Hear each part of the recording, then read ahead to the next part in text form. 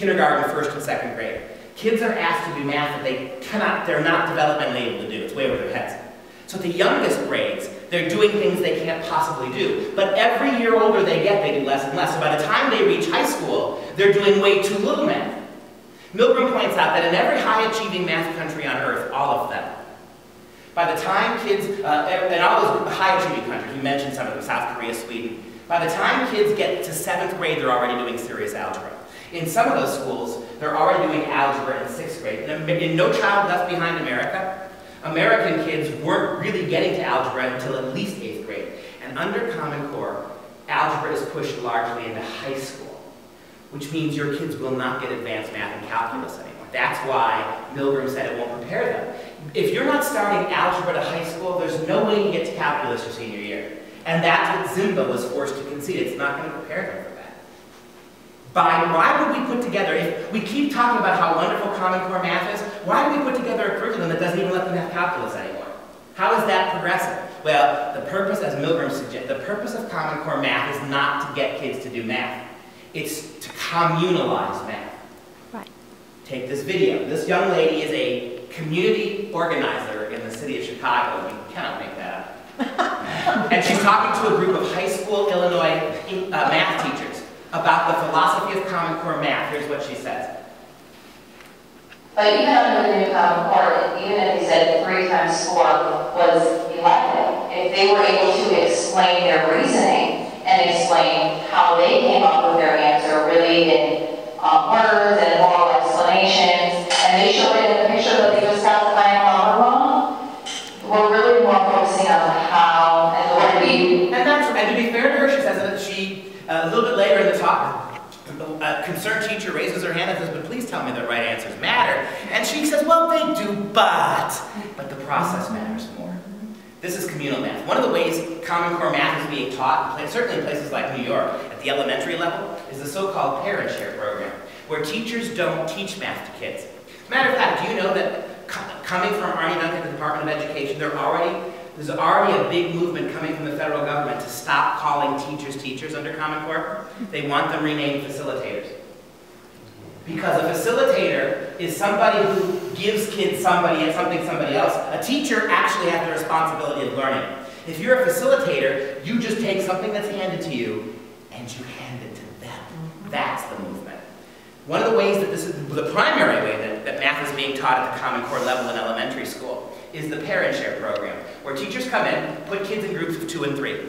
They hand them math problems. The purpose of the assignment is for each group to agree on what they think the right answer is, not the right answer. We actually have an exam from the state of New York.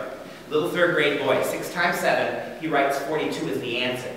Gets it marked wrong, and in red pencil the teacher writes, the other two children in your peer group agreed on a different answer. And because they agreed, they got it right. You got on your own, so this little boy got marked wrong, even though he had the correct. That's exactly what she said, right? And so you see what it is. Math is hard. Most American kids are never going to progress very far in math. I didn't, right? I, I talked to you, Milgram, about my story. In third grade, I could read it almost to college level. Don't know why, I just had the ability. And in third grade, they let me read big people books. I was reading Shakespeare. It's why I entered the high finance world of English professor. Because a little I read about But in third grade, skills were decidedly second grade. And you know what? They still are. I can balance a checkbook, I can leave a tip, and that's the end of it. But so what? The world needs more than CPAs. But think about what we said about gifted programs going away. See, to this, as Milgram points out, to this, to these people, it's unfair. It's unfair that I could be at that level, and it was unfair of them to let me. I had no right moving ahead of the class. And in the same way, kids who can do math do higher math. It's not fair. We don't want a system anymore that rewards in particular areas those kids who can get ahead. We want a system where everybody's the same. And do you understand how that's all you can have if it's a standards-based system? And where do the standards have to be if you're going to get most kids? This is social justice math. This is exactly what people like Howard Zinn called for in their history textbooks.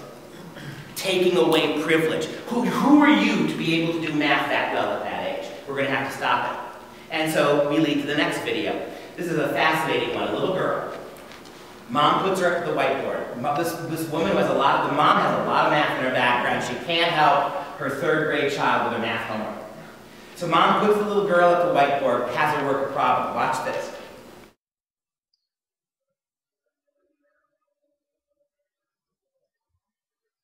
Great. So what I want you to do is, can you solve that problem showing me the way that you learned how to solve it in school? Okay. And talk to me while you're solving it. So we learned that a big square like this is a hundred. So we could make that hundred into a cube, which would make a thousand. So I'm gonna do that.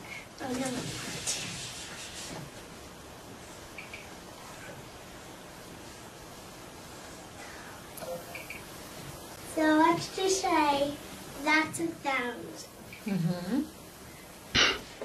Wow. And now we ha- we still have to do 500.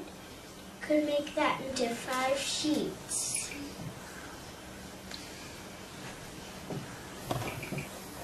We have 60, which are just lines of 10.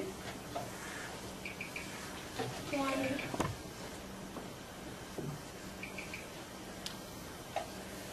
And for her birthday, she got a thousand twenty-three more. The dots represent one. Okay. So now we have to add all of these together. So you could make a thousand.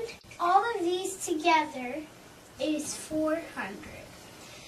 Now you need 600 more.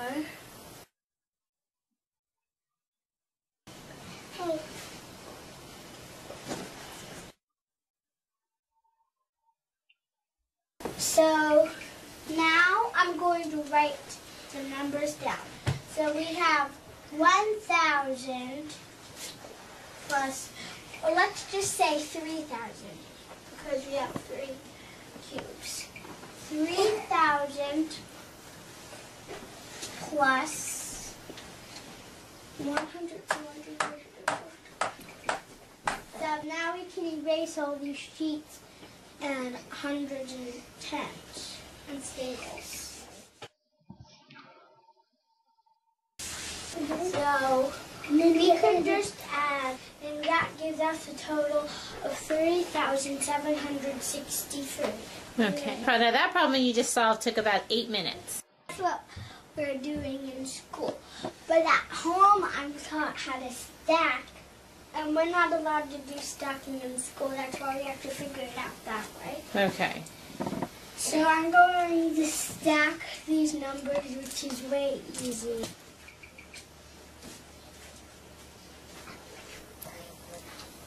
No. What are you thinking? You're looking at your problems. I got two different answers. You got two different answers. Moms and dads were freaking out because their kids couldn't add in fourth grade, started hiring tutors, having kids work ahead. The school freaked out and threatened and warned the moms and dads. Here's the warning. The links on this page are intended to support the classroom instruction that your child receives from this teacher. It is not appropriate to go ahead of the classroom instruction or to use this site to have your child work on math that is intended for other grade levels. That's the warning. Now here's the threat. Your child's math instruction and math placement will not change as a result of working ahead. This means that your child will continue to work in the, excuse me, in the grade level appropriate math regardless of any work that is done and turned into the teacher. Do you see what they just said? I don't care how much math your kid can do. If he's a third grader, he stays doing third grade math. Your kid might be ready for algebra or geometry in third grade, but it doesn't matter if he or she can do it. They're going to stay and draw cubes and lines and squares. Quit trying to move your kid ahead. Quit trying to allow your kid to move forward. Keep him where he is. Do you see what this is? That is staggering, and there are dozens of schools that are doing this. Because it, all that matters is that student standard. And the purpose of the standard is not to raise American kids, but to make all American kids the same. It is an, the absolute opposite of individuality. This is communal math. This is communistic. Think about outcome-based education by definition. That's what we've been doing, outcome-based education. We don't worry about the kids we have in front of us, what we, how we can help them. All we worry about is that when we're done with those kids, they're all in exactly the same place. Kids who can do math and kids who can't, they're all at the same place. And again, I want to remind you of that. It's a lot easier to make everybody not do math than it is to be able to enable everybody to do higher math. And so how is that not socialism? It doesn't matter what your kid's attitude is. Doesn't matter what your kid's talents or abilities are. Doesn't care matter what your kid's effort is. Doesn't matter what kind of quality teachers you have or books you have. All that matters is that everybody ends up in the same place. Isn't that by definition socialism? Isn't that what this? You got American schools threatening kids to not get ahead anymore? That's Common Core. You see what I mean when I tell you? It doesn't matter what ridiculous pedagogy they pick. And Milgram's right. If what they wanted was to help kids who learn math differently, then you'd start by teaching them the intuitive way, the simple way. It took 30 seconds to do that stacking math problem. It took, and do you understand that? Eight minutes. You're gonna come, you come to math class. You assign kids groups and give them problems. Then you give them 15 or 20 minutes to work out the answers. Do you understand why algebra has to wait till high school? How long does it take every class period to do five problems? How, and look, for somebody who was lousy at math like me, if you put me in a group of two other kids, I'm going to pretend like what they, seven times six, if I was a little kid who sounded like he knew what he was talking about, he said 42 million, I just said whatever he said. And if you allowed me in math class to spend half the period drawing things, I love that. But I would have pulled down the rest of the class. I wouldn't have been helped. What is the purpose? This is the Howard Zinn, this is social justice, right? Everyone will be the same. There will be no standouts, there will be no getting ahead. And if that means retarding and slowing down and pulling back those kids who can't, then in the name of fairness, we have to do it.